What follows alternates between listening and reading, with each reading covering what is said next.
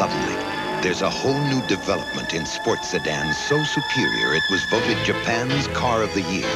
Introducing the 1989 Galant from Mitsubishi.